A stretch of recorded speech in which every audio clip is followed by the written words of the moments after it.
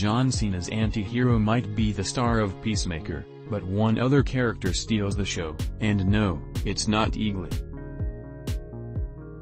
Danielle Brooks's turn as Leota Adebayo is one of the highlights of the Suicide Squad spin-off series, which just premiered its first three episodes on HBO Max.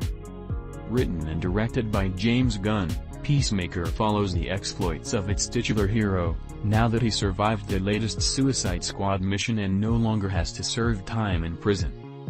However, that doesn't mean he's free from Task Force X's director Amanda Waller's influence.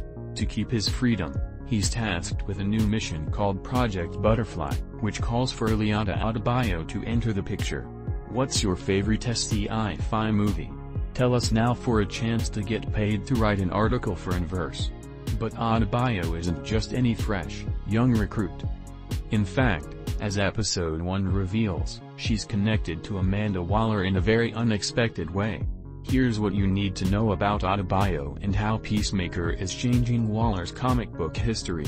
Spoilers ahead for Peacemaker Episode 1. Who is Leota Adebayo in Peacemaker? Leota Adebayo is an entirely new character in the DC Extended Universe.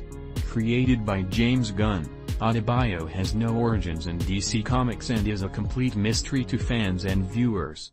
When we first meet her in Episode 1, Adebayo and her partner, and their adorable pups, just moved into a town where she is assigned to work on Project Butterfly.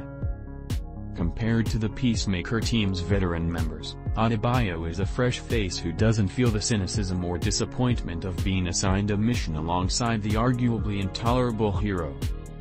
She's the first one on the team to strike some camaraderie with Peacemaker. However, as alluded in her conversations with her partner, this job seems like a one-time thing she hopes to move on from once completed. That would seem simple enough. However, at the end of episode 1, Adebayo is seen video chatting with Amanda Waller, proving that Waller has a trick up her sleeve for Project Butterfly. Adebayo asks if she can loop the team in on Waller's plan, but Waller adamantly says no. And that's not all. Before signing off, Waller affectionately wishes a good night to Adebayo, who responds and refers to Waller as mom. Peacemaker changes Amanda Waller's comic book history Viola Davis as Amanda Waller in Suicide Squad.